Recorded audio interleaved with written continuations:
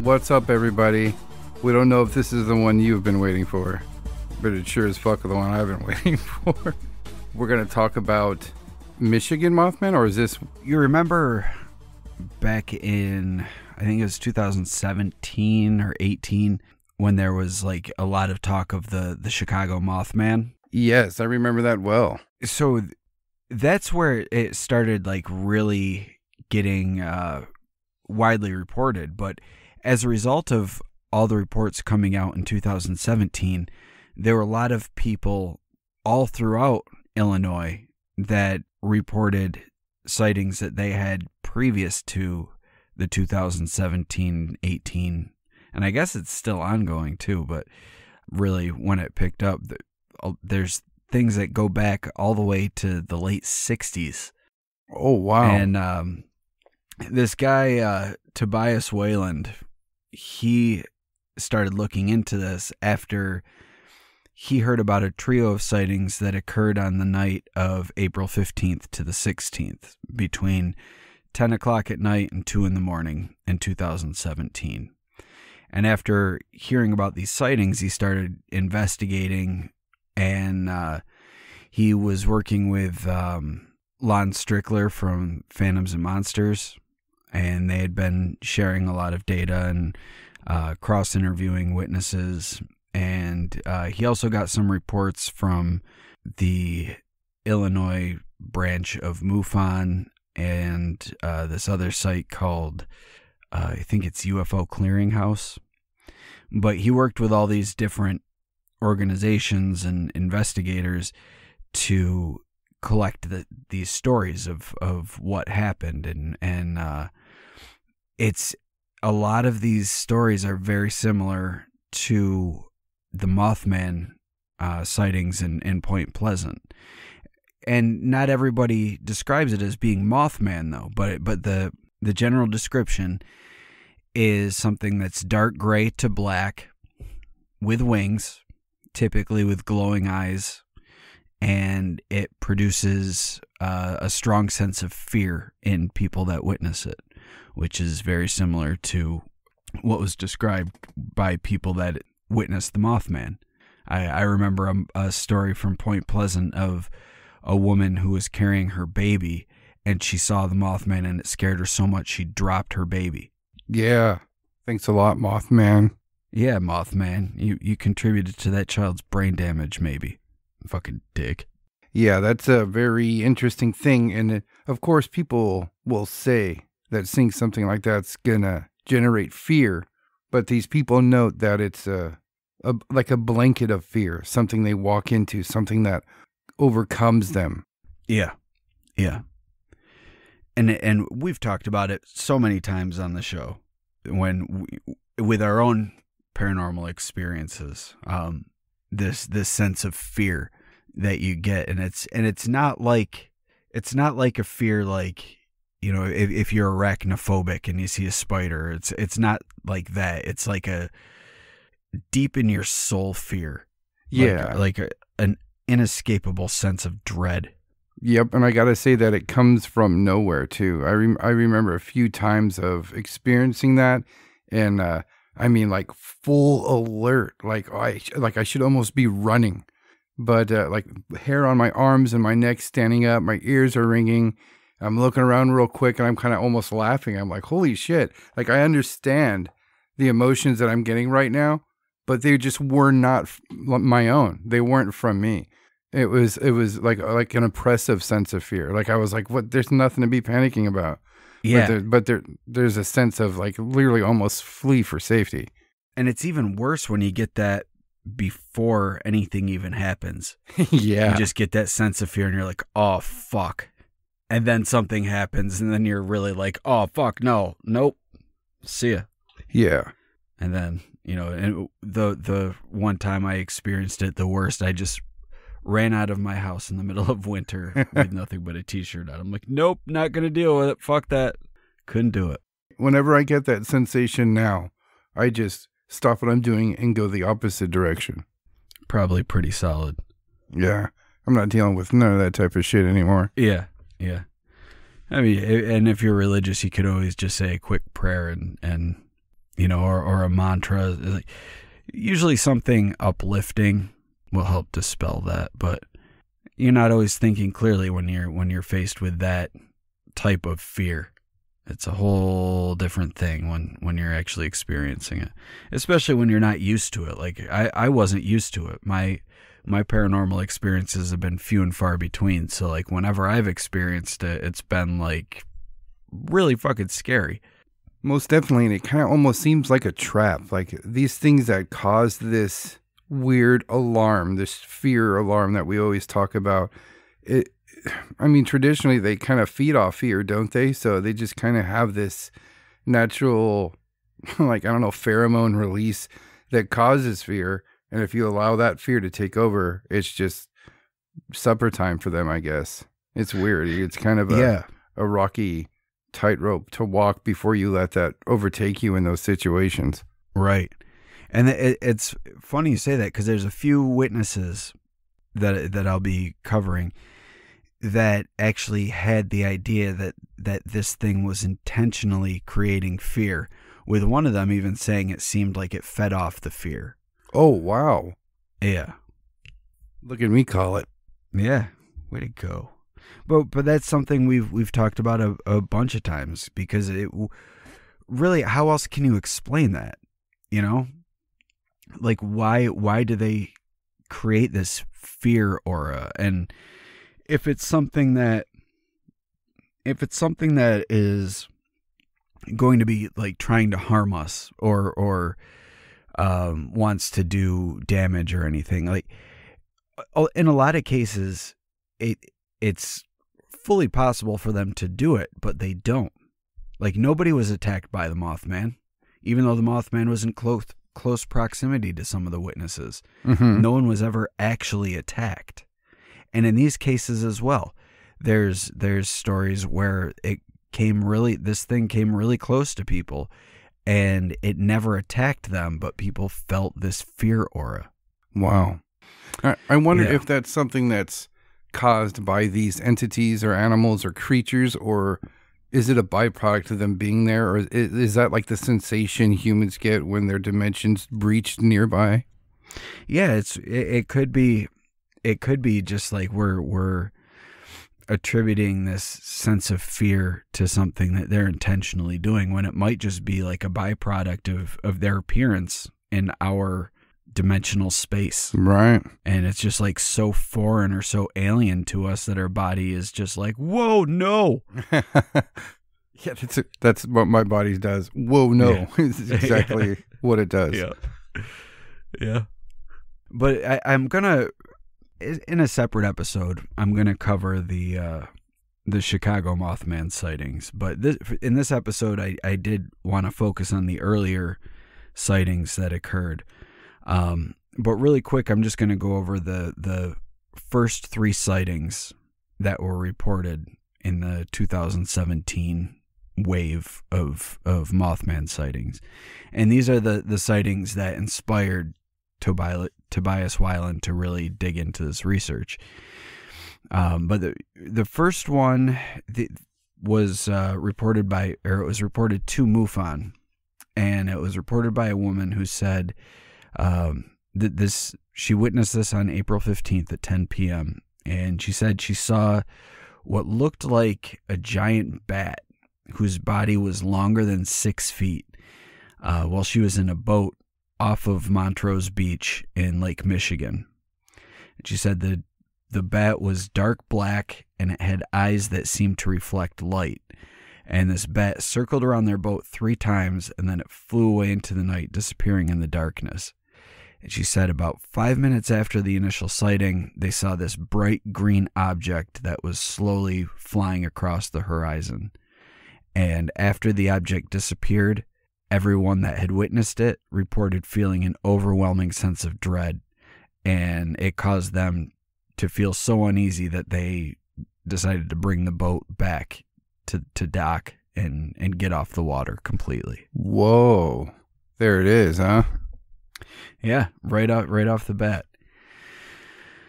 Strangely though, a half hour later, um, there was another report that was reported to MUFON, and this was a, a man with his friends and his children.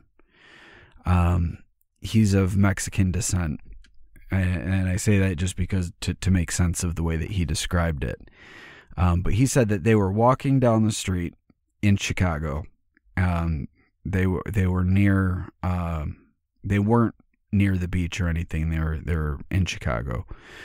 Um, but he described this thing that he called La Lechuza. Are you familiar with that at all? Yes, sir. Okay.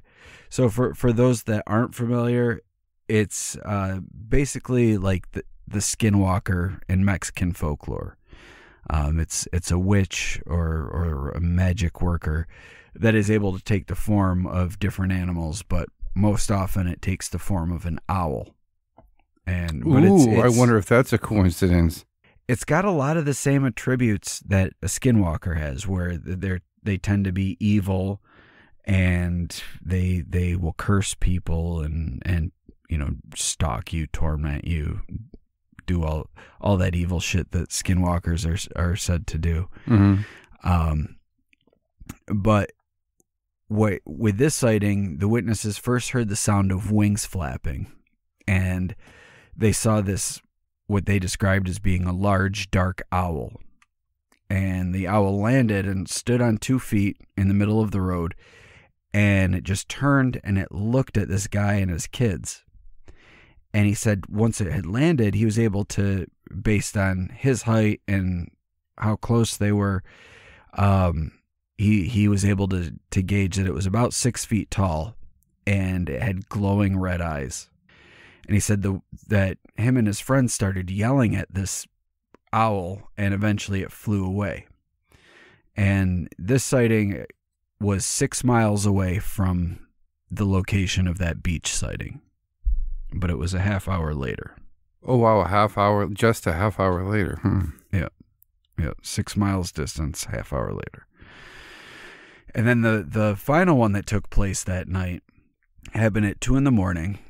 Um, there was the the witness was arriving to work. He worked night shift, um, and he was arriving to work. And once he showed up, he saw a bunch of his coworkers outside looking up at the sky. So he looked up and he saw what he described as being a giant owl. And he said the owl eventually landed and it looked at the the gathered group with these bright glowing eyes. And it stood he said it stood taller than he was and he's six feet tall. And he said that the owl stood there staring at him and his coworkers for a couple minutes and it just it didn't make a move it just stood there staring at them.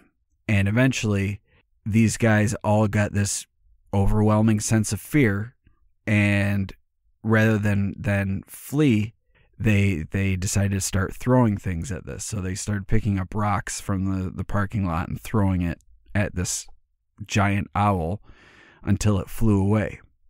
And once it flew away it made this screeching noise that they described as sounding like the noise of brakes on a truck after they've burned out. Whoa, this is all in one night. one night yeah. Now, where was this sighting in proximity This- to the others? Uh, I don't know how close it was, th- but this was also in Chicago. Okay. So all three of these were in Chicago. I don't know how close this particular the the last one was uh, to the beach sighting and the other one, but it was it was in the same city. But based on these, this is what this is what started uh, Tobias down the path to looking into the uh, into the the Mothman or or flying humanoid sightings. Yeah, I know that uh, Mothman got some misrepresentation at the start of his career with Birdman, but uh, yeah. I mean, that's what people were kind of describing, and I, I the the press went with that name, and they they did with Mothman as well. Do you think that we're misidentifying this thing? Do you think this isn't Mothman, but maybe Owlman? Well, the thing with Mothman, they originally wanted to call it Batman, but they couldn't because you know Batman, especially at the time that that was like the the height of the Adam West Batman live action series. So you can't call this thing Batman. And it, it wasn't necessarily because it looked like a moth, like it didn't have the the it didn't have bug eyes, it didn't have the moth feelers. It most people said it didn't even really have much much features at all other than having these big red eyes that seemed to be set into the trunk of its body like a Blemmyae or something. Mm-hmm. So the you know even the Mothman description is is not necessarily um, accurate to the sightings because it doesn't look like a giant mothman it just it has wings and it's vaguely humanoid in shape Yeah, I love that giant Mothman statue that they have there. But when they reveal it revealed looks like it, fucking a nihilist yeah, it looks like a nihilist. But I mean, just for as far as what people described, I was like, what? It has butterfly wings for Christ's sakes. What did you do? yeah and arms yeah, a- and teeth and a, yeah, a head. Yeah like it looks nothing like the initial descriptions of the mothman but it's still a cool as shit statue though Yeah, oh yeah. But in, in looking into these cases, um, he found so many that, that took place in Illinois. Um, but there were also some in the surrounding areas, some in Indiana, some in Wisconsin. There, there was one in. Uh, I'm going to focus on the ones in Illinois, but there was one that he found in Indiana that I found to be very interesting. So I do want to discuss this one. This one happened in 1969. So if we're if we want to make the argument that this is the same Mothman from Point Pleasant, then this was his westward journey. He he left Virginia and started heading northwest to and on his way to Illinois he stops in Indiana. And I don't necessarily think that's the case at all, but he maybe it was. I don't fucking know.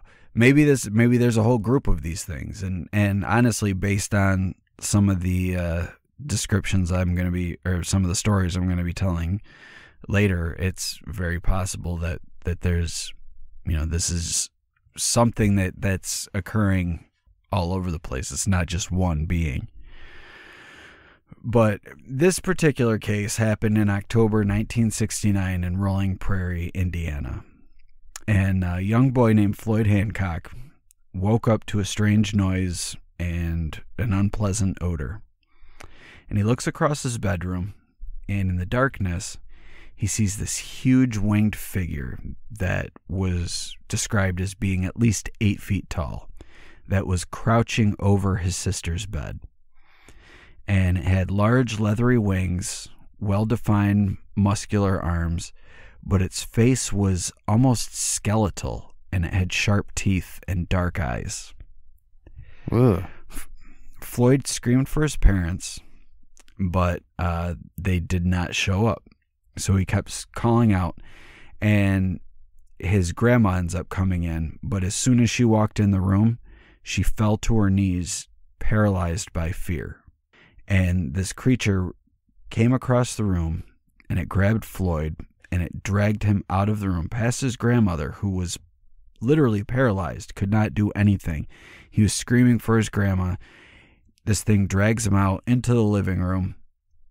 There had previously been a storm, and the storm damaged their roof, so they just had like a tarp over the roof while they were waiting to get the, the repairs done. And uh, this thing must have come in through the roof because the, the tarp had been moved. And it dragged Floyd out past the past his grandma into the living room and took off with Floyd in its arms through the hole in the roof. Oh and his shit! grandma said that she heard him screaming for help. She heard his screams fade away as the thing flew away. As soon as the, as soon as it left, his parents were able to move. Apparently, what had happened was was that his parents were uh, put into a trance state, and they were unable to react when he was calling out to them. And his grandmother was paralyzed by fear once she saw the creature. But after a few minutes of of panic, they heard this scratching noise on the roof, and then they heard a dull thud.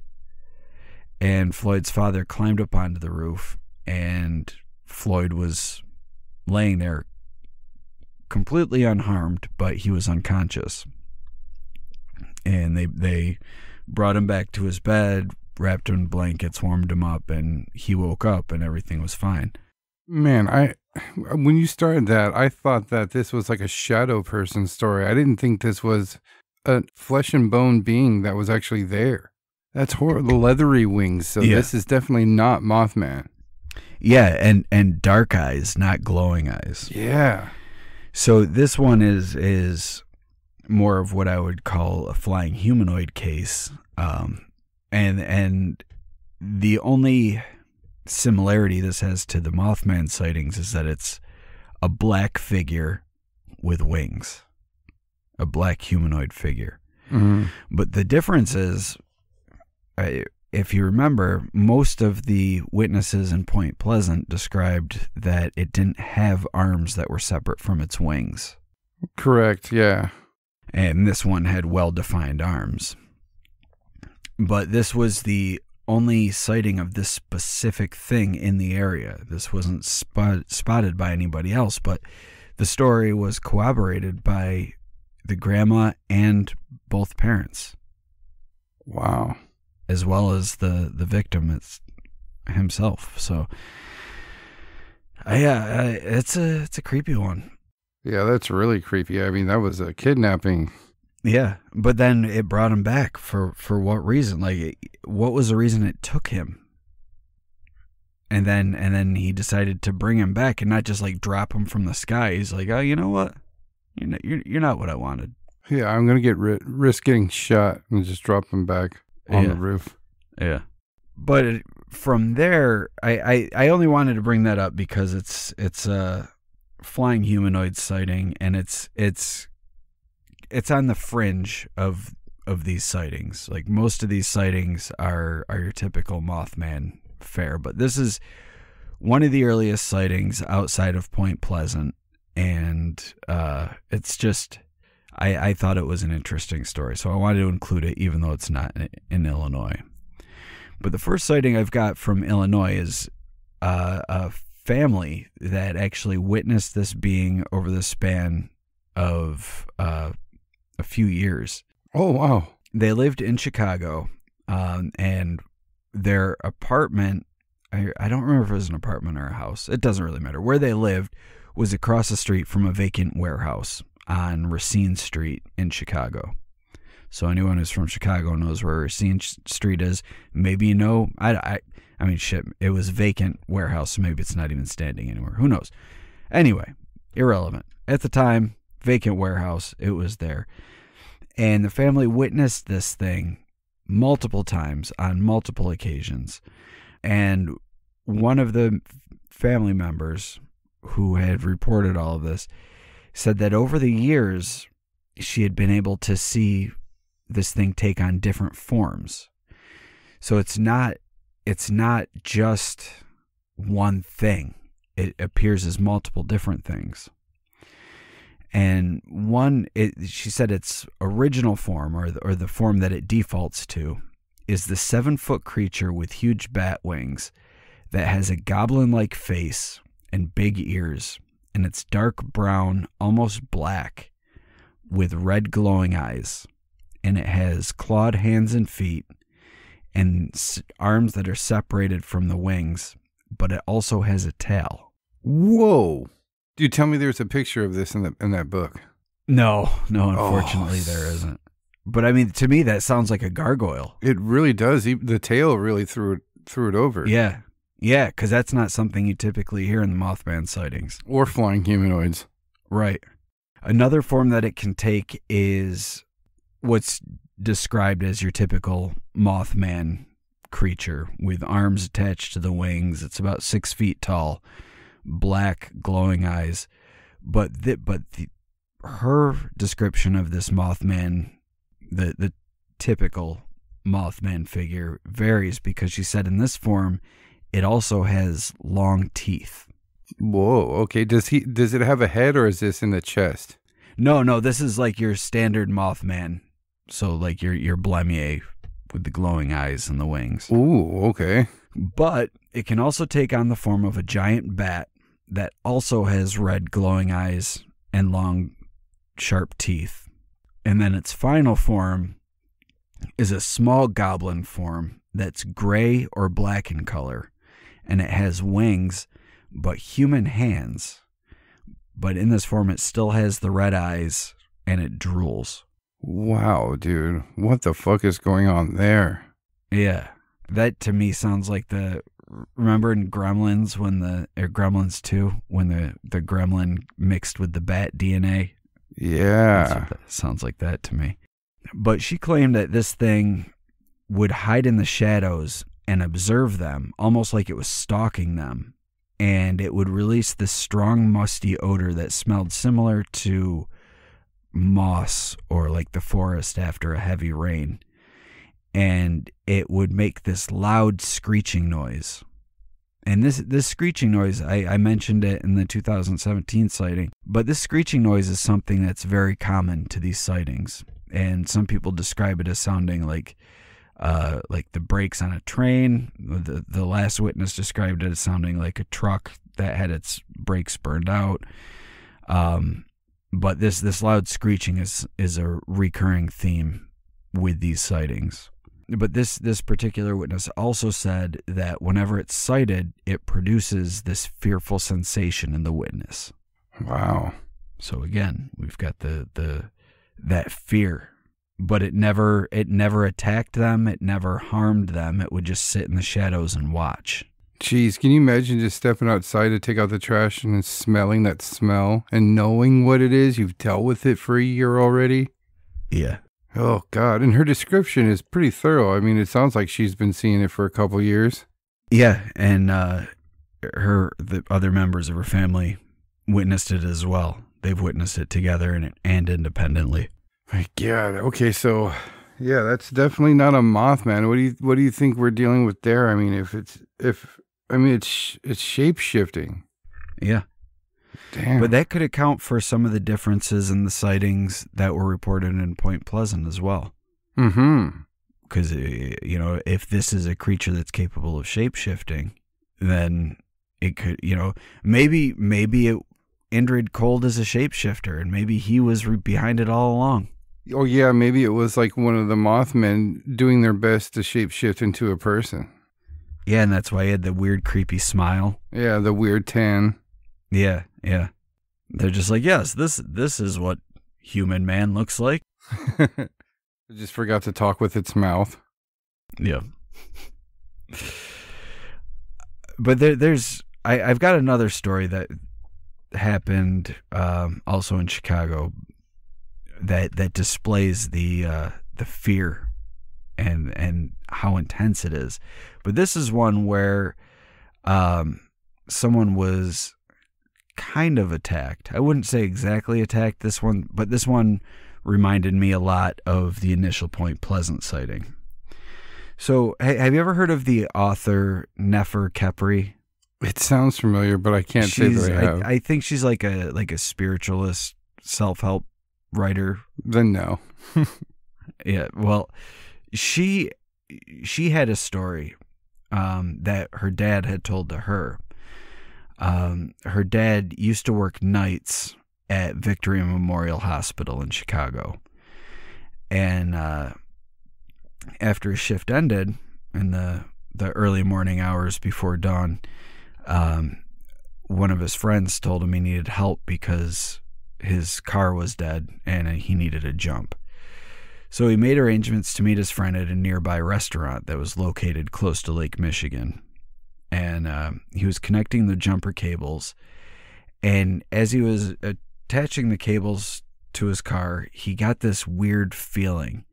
And he said it just it was this feeling like he was being watched. And then from that feeling, he got this overwhelming sense of fear that just like flooded over him. And this fear led him to look up. And when he looked up, he saw this dark figure with glowing red eyes in a crouching position on top of this nearby silo or, or tower or something. He said he wasn't sure. It was either a tower or a silo. Um, but it was cr- crouched on top of this, looking down at him with these red glowing eyes. And as soon as he saw it looking at him, the fear ramped up even further. And both men got into his car and left the scene, not even bothering to lock up his friend's car or unattach the, the jumper cables. He just left everything there and, and drove off. And as they were driving off, they heard this loud swooshing sound, like like some you know like I I would assume like you'd hear in a movie or something with something like whoosh, you know, something like that. Uh, but he heard this this sound, and then he heard something hit the top of his roof, and it sounded like it slid across the roof of his car. And once he got home, he took a look at the top of the car, and there were four sets of three claw marks and each individual claw mark was about a quarter inch from the next one. Wow. Okay, so now we've got much like the lizard man, some physical evidence. Yeah. Car damage evidence, to be more Yeah. specific. Wow. Okay. Right. And again, I mean, this thing didn't really do anything to them, but it all of a sudden this over and and he felt the fear before he even saw this thing. Man. Now, I gotta say, when we talk about our holy shit alarm going off, it's been when we've had experiences with what we would call ghosts. Now, if, if uh, every single case that you've talked about has this holy shit alarm factor in it, do you think that when we've experienced that, we're seeing something that's fucking not a ghost? Well, I I've said many times that I'm I'm not convinced that ghosts are ghosts in the in the traditional sense. Like I don't think that they're dead people that can't leave. I think there's more to it than that. And I think a lot of it has to do with I mean, look at look at cases of hauntings and then look at cases of people that are plagued by uh, what they what they call alien contact. And then look at cases where people say that they're interacting with with fairies or nature spirits or you know some something along those lines elementals. Um, and all the cases are, are very similar. You could literally line them up and see all the similarities with only with the differences being the appearances that these things take that's that's really the only difference so I, I I think that it's I I'm hesitant to say it's all the same thing, but I think it's coming like I think it's the same type of thing. Right. You know, like coming from the same place or or coming to our reality or dimensional space in the same way. And maybe they all want the same thing, maybe they all feed off negative energy, or maybe that's just what we feel when they show up because it just feels so alien to us. Like it, it, our body's like, no, this isn't right. It feels wrong in some way. This is not natural. Right, just like a like a literally a physical sensation that happens as spider sense in a way. Yeah, yeah, that's a great way to put it. Spider sense. Yeah, something uh, from something like other unnatural, not from from where we are, I guess. That's a good way to put it. But it's weird because I've had experiences with ghosts and not get that sensation. I wonder what that means. Yeah, it's it's got to be something to do with their their appearance, though. I, I don't you, because it, it's almost like they're being heralded. You know, like you're you you are afraid. But why am I afraid? Because fucking Mothman is here. oh my god, Mothman. yeah. But I, I've got a story from 1981 where um, it's it's kind of almost reverse.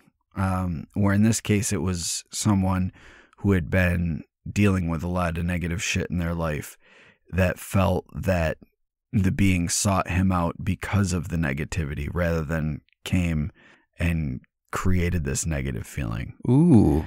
Um, so this happened in Cicero, which is six miles from Chicago, and it was a 13 year old boy who had been the the victim of abuse, and he would often use meditation as a way to, uh, you know, a, as a means of escape, I guess, just as a way to kind of uh, ground him and and make it so he's not dwelling on the the negative that comes with being abused. Way to go, buddy.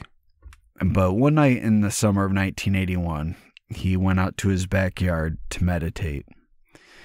And he was in this meditative state, but he said all of a sudden he got pulled out suddenly and had this these alarms going off like he was being watched. So he opens his eyes and looks across his yard and into his neighbor's yard.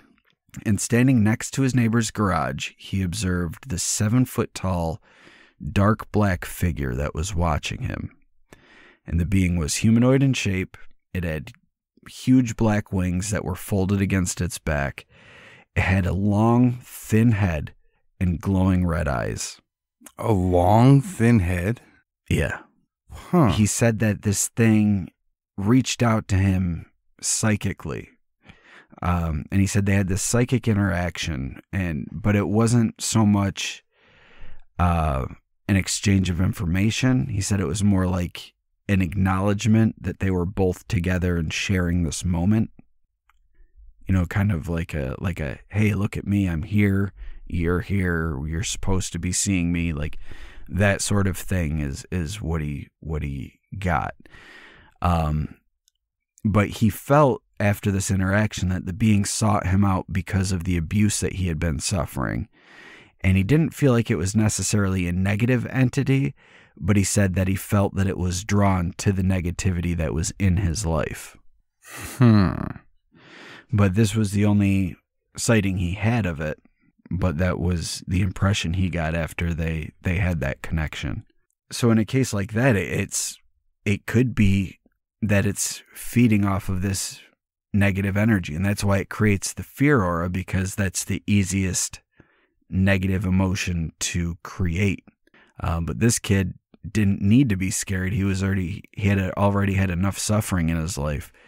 And maybe this thing was just drawn to that, like, like a, excuse the, the comparison, but like a moth to flame.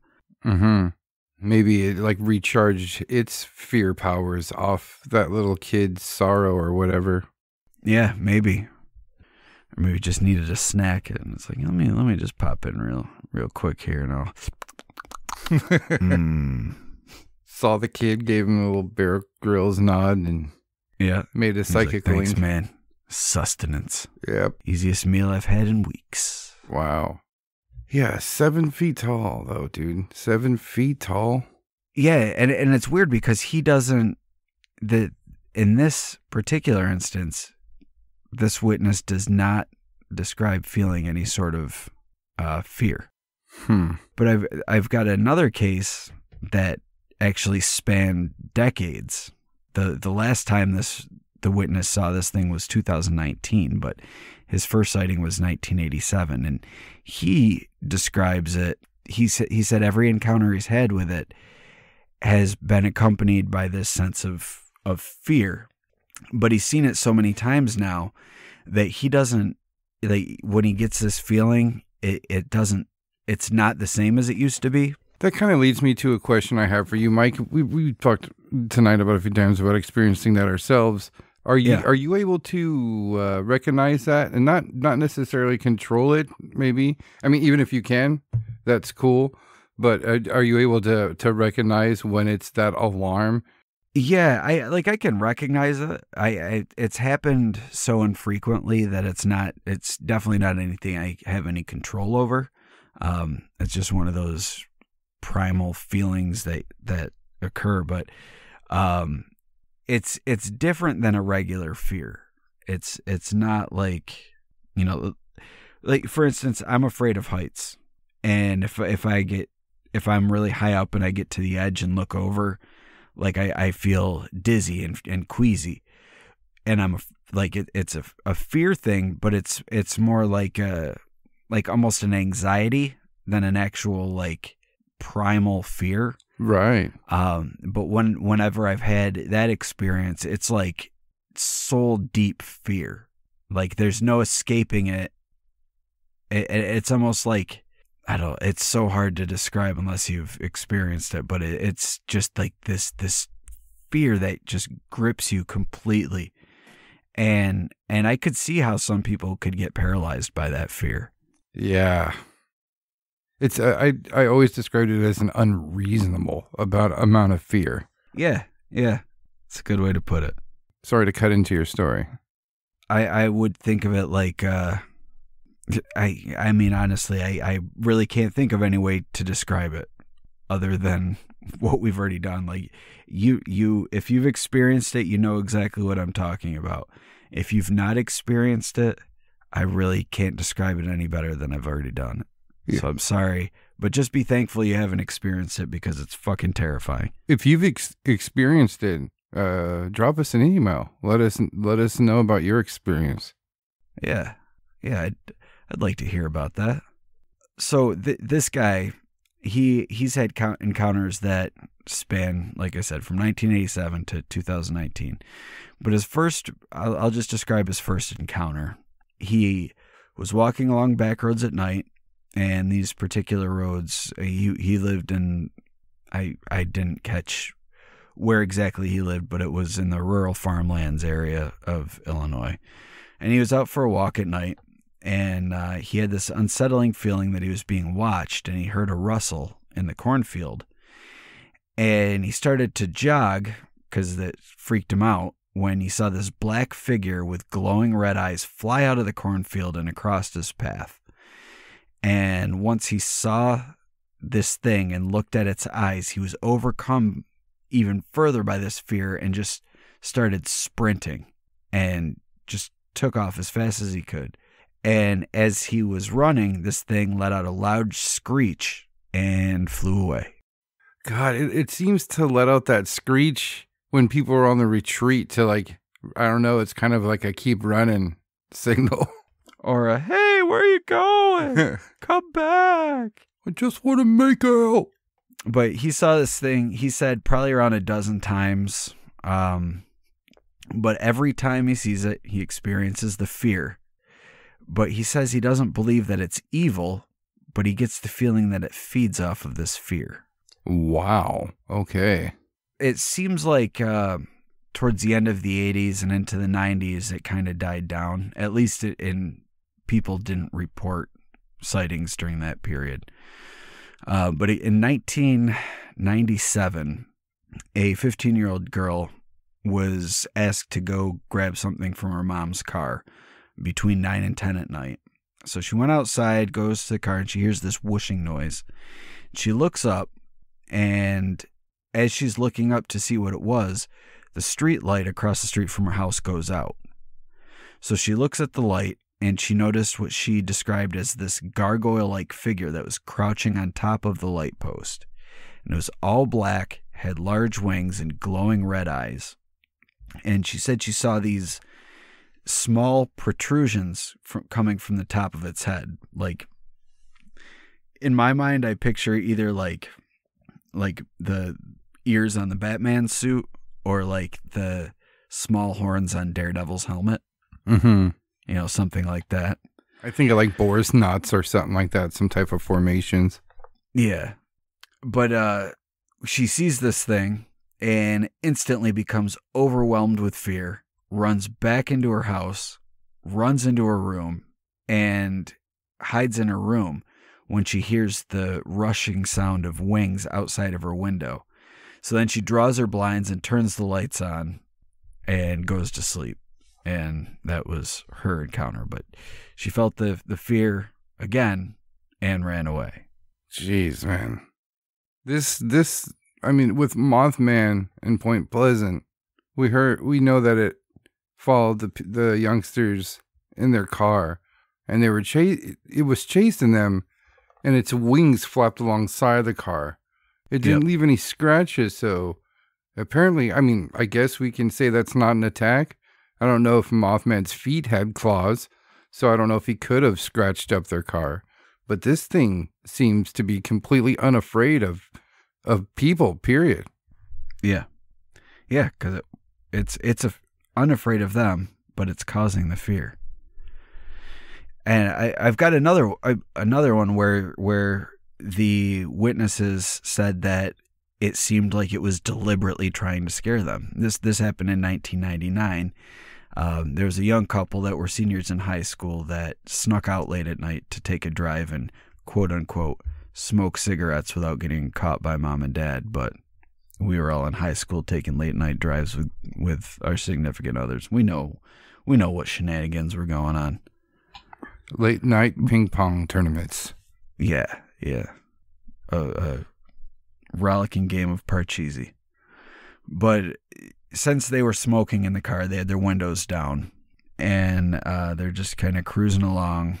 They're not in the back roads. They're in a they're in a suburb of of Chicago called uh, Naperville, and they were driving down the streets. They had the windows down, and they heard this loud screeching noise again. So they slowed the car down so that they didn't hear, you know, so that the car's engine was quieter and we're listening again. And out of nowhere, this flying figure flew in front of their car, which caused caused them to slam on the brakes. And then this thing it stopped in front of the car and it bulged its eyes out like or the the witness described it as as bulging its eyes. I I don't know exactly what that means, but it bulged its eyes and it made a snarling gesture with with one clawed hand in its mouth. Um and then it flew straight up into the air and out of sight. And she said the figure itself had wings, glowing eyes, and dark purple skin that seemed almost transparent. Whoa. And it was four feet long. But she said when it stopped in front of the car and and bulged its eyes and made the snarling gesture, she got the impression that it was deliberately trying to scare them. Not not that it was trying to harm them, but that it was deliberately trying to scare them before it flew off. Uh, wow, this this is all this is all one different type of entity. I wouldn't be calling this Mothman at all. This is the fear sucker of Chicago, dude. Yeah. Yeah, and there's there's this place. It's it's about 75 miles from Chicago called Rockford, and there have been a bunch of sightings there. So over the years, um, one of the first ones was in summer of '99. Um, there were a group of friends that were sitting outside on their front porch when they saw this dark gray flying humanoid figure fly between the trees across the street from their house. And this this one is really weird. This is different. This one it, it could maybe even be a completely different thing, but this it sounds like one of those wacky one-off things just just based on their description. But they said the figure had muscular legs and muscular arms that were attached to bat-like wings and it had glowing eyes and what looked like small cat ears on its head. And they said as it was flying, it seemed to be flying in slow motion, but it was kicking its legs while it flew, almost like it was swimming. and then it flew between these two pine trees, and they lost sight of it and couldn't see it again. So there's no fear there, but uh, this was the first sighting in Rockford of a flying humanoid. But a few years later, in 2004, witnesses that were outside stargazing um, were alerted by the sound of their neighbor's dogs barking. And as she uh, brought her gaze down from the sky to to look and see what they were barking at, she saw this what what she perceived to be a seven foot tall humanoid figure with bat wings flying through this park that bordered her backyard. And as she was watching, she saw the thing descend from tree level to about five to six feet off the ground, and then it flew between two houses next next door. So to see if she could catch it flying from the other side, she ran out the front yard to see if it, but um, she didn't see it, but she heard this loud screeching noise coming from the tree line at the park. So she ran back in the house, locked the doors, and she told her husband what was going on. They sat there and they listened to this these screeching noises coming from the tree line for another five minutes before they went silent. Oh God.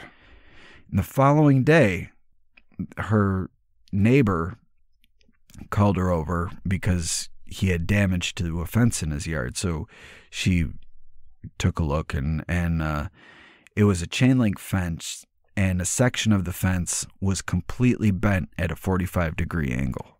Just pushed over. Yeah. Wow. Hmm. And then I've got two other ones that happened, and these ones are it sounds like it's almost the exact same story, but it happened to two different groups of of teenage kids in the same summer in 2010. Um these both these sightings were on the back roads near Rockford, so it wasn't in Rockford proper. Um, but they the sightings were ten miles apart from each other, um, but the similar similar area, um, both uh, gravel roads, surrounded on both sides by cornfields. Uh, so the first witness uh, the first witnesses were two 16 year old boys that were driving around being stupid teenagers on country back roads. Um, the driver owned a old 97 Firebird, and uh, they because it was you know a, a muscle car, they're they're out on back roads, going fast, doing stupid shit, and at one point they attempted to to drift and get their car to go sideways on a gravel road that has cornfields on both sides, and they're going really fast, trying to get it to so that you know slam on the brake and turn, you do whatever you do to make it drift. I don't fucking know. I, I, I don't do that shit, but we, we've we've all seen it done in movies. Uh, so they're trying to do that, and uh, this is late summer, so at this point the corn is almost at its peak height. You know, probably around six seven feet tall. Um, and they were drawn to this sudden movement in the cornfield, and the corn started violently shaking in this one section. So, thinking that a group of deer were going to be jumping out of the corn and into the road, they slowed down almost to a stop. And at the point, you know, they're they're seeing the corn move closer and closer to the road, and at the point where they think the deer is going to be coming out, all of a sudden this huge black figure. They said it was about the size of a of a large buck, but it was humanoid in shape and it had wings. And it flew out of the cornfield and into the middle of the road, about six feet in front of their car. It made this zigzag pattern in the air and then flew straight up as if it was shot out of a cannon. And as soon as it shot up, they both they they just gunned it in the car and uh, they didn't see it, but they got the feeling that it was following them. In the other story, almost completely identical. Only the difference is, like I said, it was 10, 10 miles away. And this was a this was two 17 year olds who were on in their senior year of high school or, or going into their senior year of high school. Uh, it was late summer, early fall. Um, but they were driving around. They these guys weren't being assholes with their car. They're just taking a late night drive, probably getting high on back roads like you do in the country. Um, I, I used to do that all the time when I was I was a kid. You can't you can't get high around your parents, so you just fucking hop in a car, go cruise around back roads, listen to music, and smoke bowls. And I'm sure that's what these kids were doing, even though they didn't admit to it. I know that's what you're doing, you little fuckers.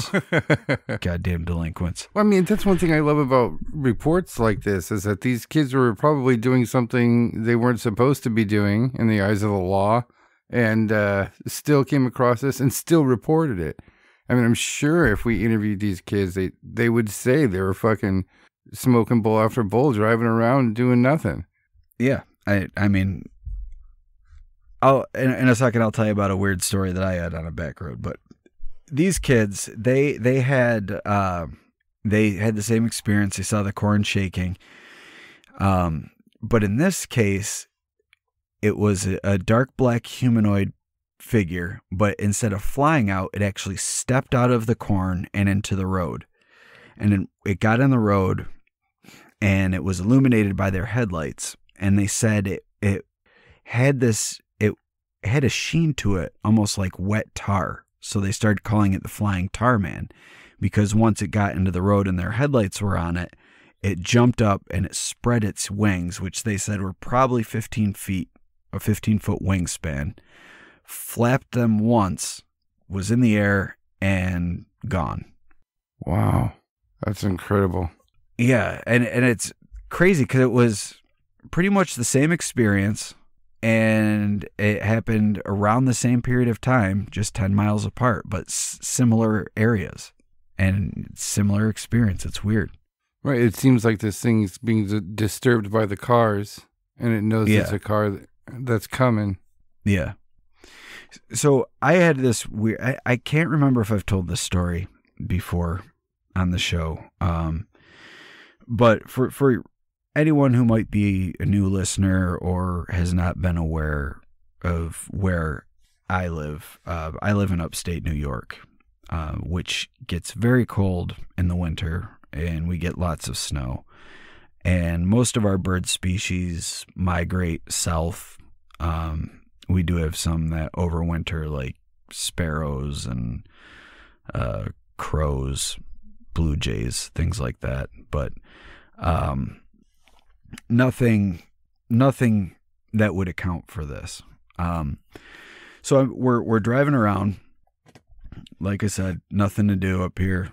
And when when you live when you live in the sticks, and uh, so we're we're just driving around, killing time, listening to music, um, likely smoking bowls, and uh, we were on this back road, and as we're driving out of a snowbank, there's this thing that just flies out and goes straight up into the air, and it had wings. It wasn't big. I would say it was maybe two to three feet tall, and it just shot out of the snowbank, flew straight up into the air. It didn't fly across the road, didn't flutter, literally straight up into the air.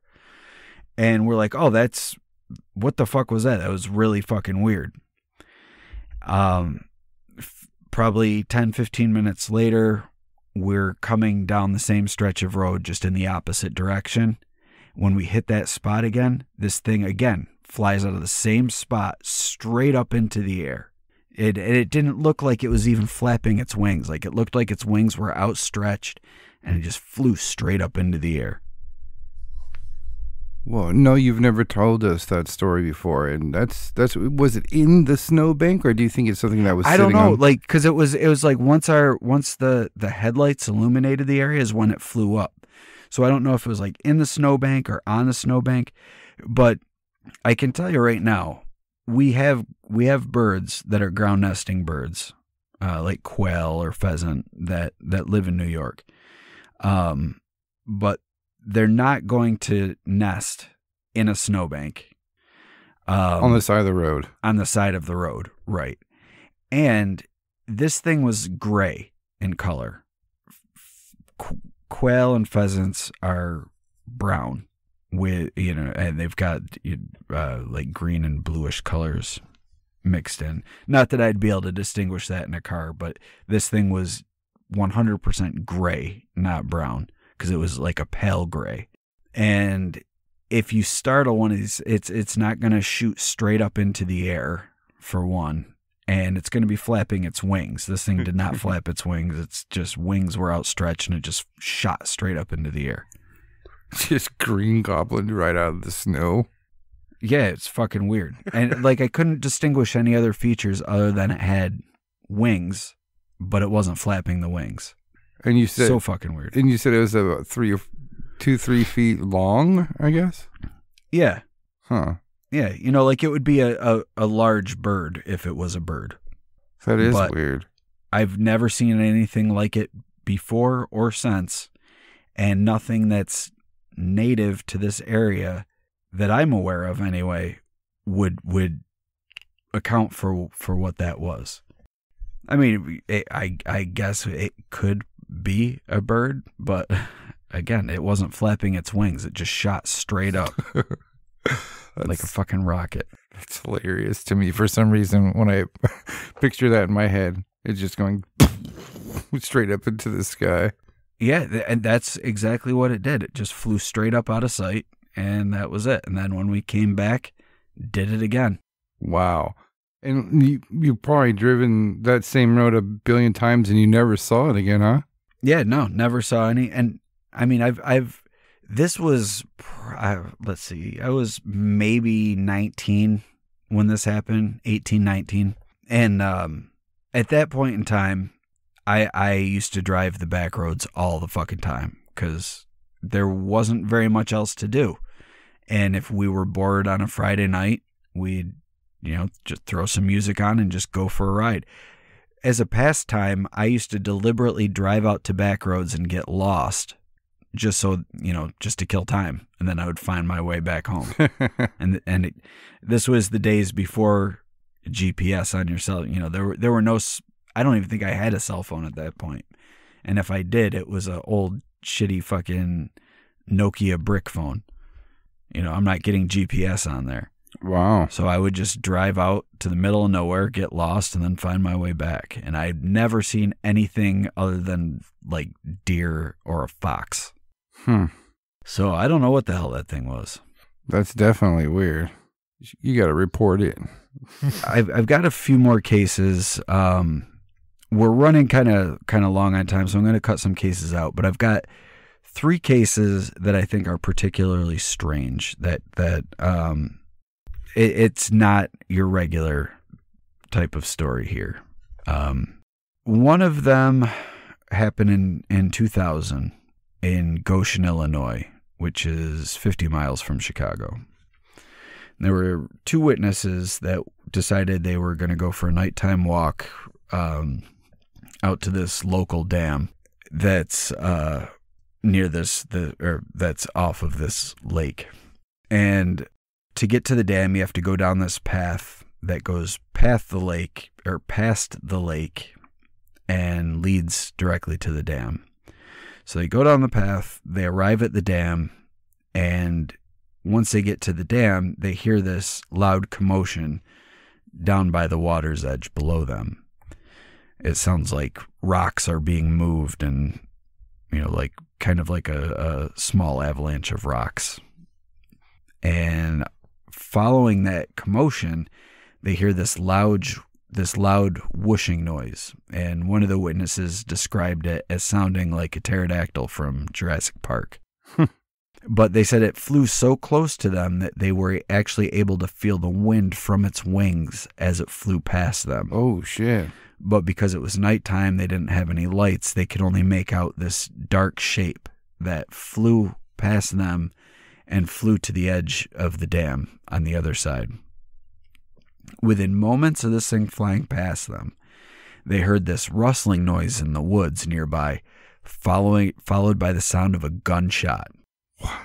And after hearing this gun being fired, they ran off, but they heard this crash on the other side of the dam, like something heavy landed.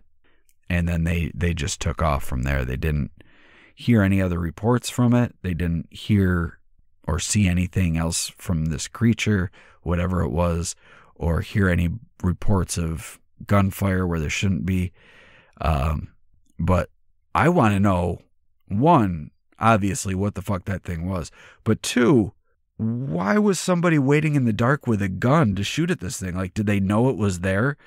Is this thing like an escape creature from the SCP Foundation and it's being hunted down by agents? What the fuck is going on? Yeah, it was like Rainer, the gargoyle hunter, hiding in the woods, tracking that thing. Yeah, yeah. That's crazy. And from what they can tell with sound, they hit it and it dropped. Possibly. Yeah. Hmm. Yeah, I I mean that's that's just a weird one because of the the whole like if it wasn't for the the gunshot thing, like I, it would kind of be an unremarkable case because they didn't really see anything other than a black shape and fe- hear and feel the the rush of wind from the wings. But the gunshot, man, what the fuck? Dude, what if that was some totally freaked out guard for the area that just got clearance that night? They're just like, shoot it then, dude. If you're seeing Yeah. this thing, shoot it. Right, right.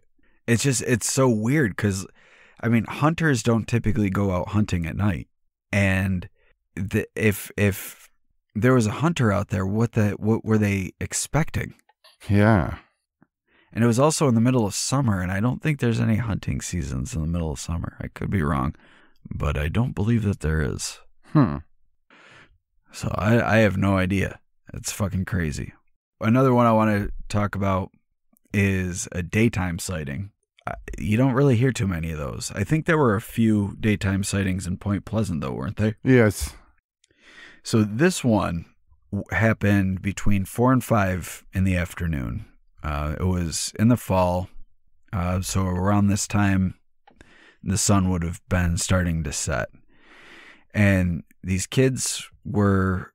It was after school. They were walking home, and they saw that this weird what what they first thought was a weird guy that was dressed in a black trench coat but it looked like he had a head that was just sitting on his shoulders with no neck. And he was just standing there. So they they were kind of they were keeping an eye on him cuz you know it's fucking weird like what the hell are you doing guy? But uh as they approached all of a sudden he spreads his arms which were actually wings and it wasn't a fucking trench coat it was wings wrapped around him. It flapped one time and that's all it took to send it up into the sky where it just flew away. One single flap of its wings. And it flew off in the direction of the sun, so they lost sight of it because the, the light from the setting sun obscured their vision. That's fucking crazy in broad But daylight. Broad daylight. Hmm. Yeah.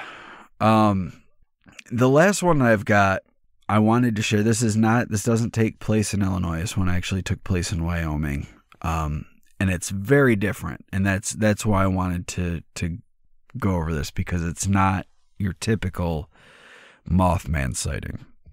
Um but this this couple and their daughter were were moving um and they were in the car and I can't remember exactly where in Wyoming, but um, they were they were driving to their new their new home.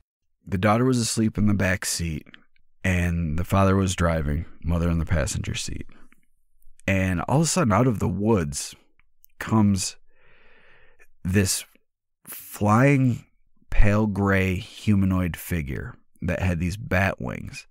And she said it flew up along the side of the car and was doing like a side stroke flying. So like think it like its body was turned so its chest would be facing the car Right.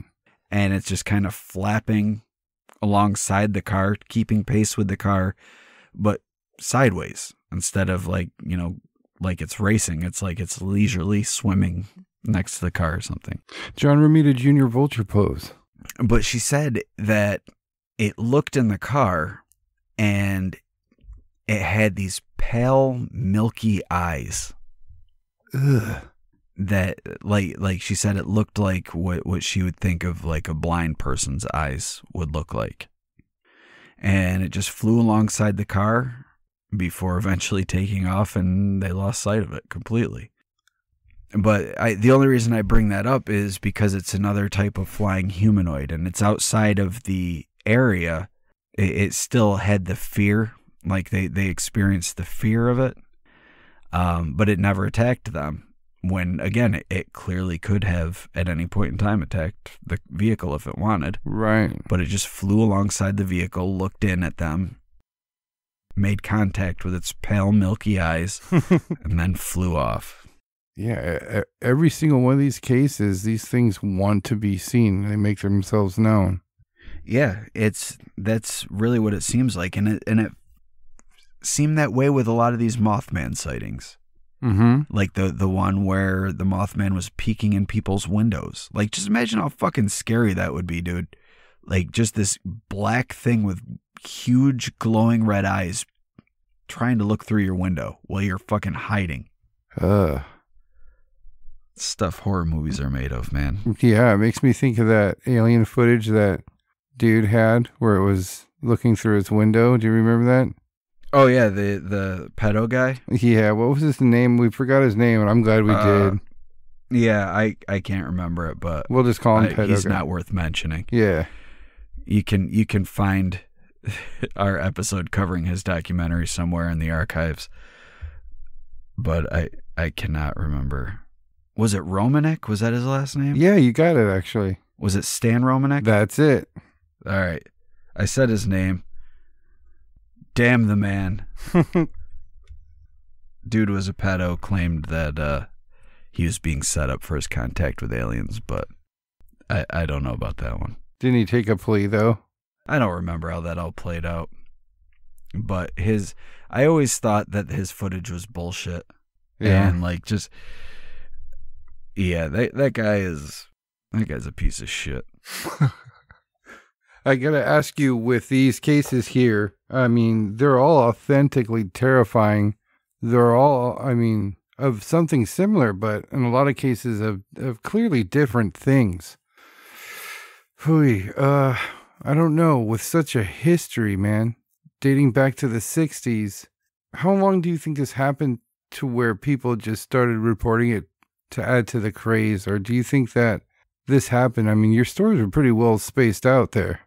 Well, in in most of these cases, not all of them, but in most of these cases, there was the initial report, and then they were interviewed by either a MUFON investigator, Lon Strickler himself, Tobias Wayland himself, or someone from the UFO clearinghouse. Wow. Um, in a lot of these cases where they were able to talk to the witness, um, Tobias himself would go and interview people that had already been interviewed by other investigators. And then they would compare notes. And so the, the ones that were cross referenced, those ones all seem to hold up. Like it doesn't seem like these are just some fucking weirdos. And and honestly, when it comes to to things like this, um, the amount of effort that goes into reporting these, especially if you're doing it anonymously, like I, I can't see the point in creating a fake story for no reason.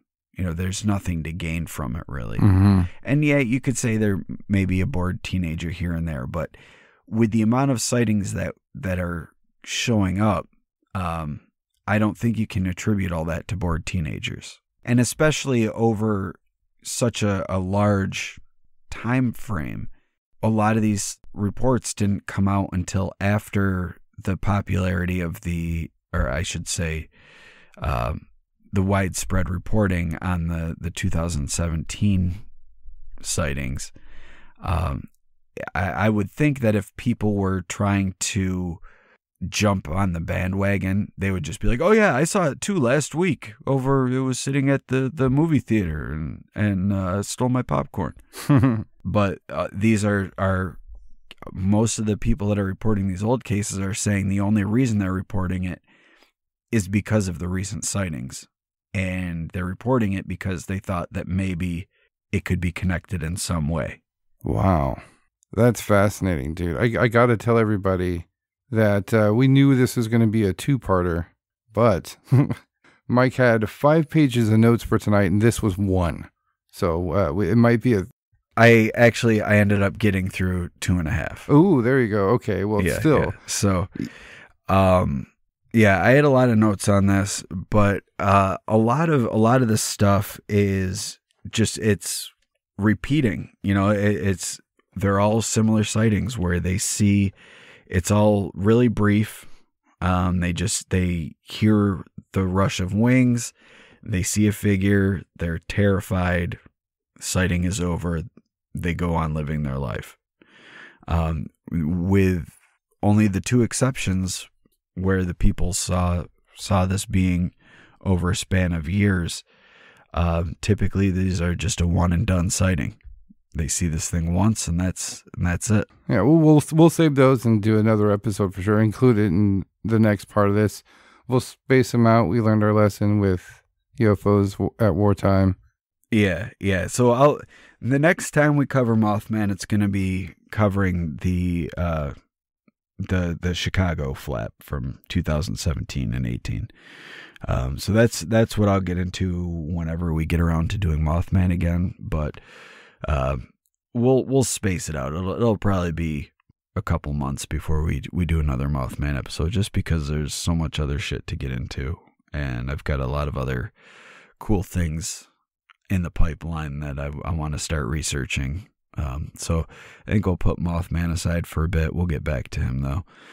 Um, but it's, I mean, to me, it's just further evidence that there's weird shit out there, man, and it and it and it seems to take place or take a lot of different shapes and forms, but it, it seems to uh, operate in the same way and it's it's just kind of like, hey, I'm here, I'm here to scare you. You're you're scared. All right, see ya. Hmm. Like it just like I wonder if these entities use our world as like a a drive through, and they just they're just like, oh, I'm just gonna pop in real quick for a bite to eat, and I'll uh and I'll I'll meet you at Dave's house later, and we'll we'll hang out. Yeah, I've always And felt that all those types of things, it's it's pretty much like a drive-through. Else they'd be here like at all times. They'd just be. here. Yeah. Yeah. Yeah. They're just going to pop in, grab a bite to eat, and then go do whatever shit they have to do on their own plane. Who knows? Um, Maybe they're just sick of doing taxes. They have to do fucking other world taxes. And they're like, I'm sick of the other world taxes. Fuck you. go into the real world and I'm going to suck some fear. Calms them down. They can get back to work. Maybe it's not even, maybe it's not even food. Maybe it's like a drug. Yeah. Maybe that's like their weed. They they come to our world and they're just like, oh, that's the stuff. That's why they fly away so fast. They're like, "Yep, that's good." Yep, and then they get paranoid and like, see, they're gonna find out. Thank you for listening to the Whatcast. You can find us on Twitter, Instagram, Facebook, iTunes, and YouTube. Enjoy the podcast. Get yourself a Whatcast t-shirt or a sticker pack. Who was that dude on that one episode? Try the links in Homie's page. All this and more can be found at www.thewhatcasters.com. Thanks again for listening and have a great week.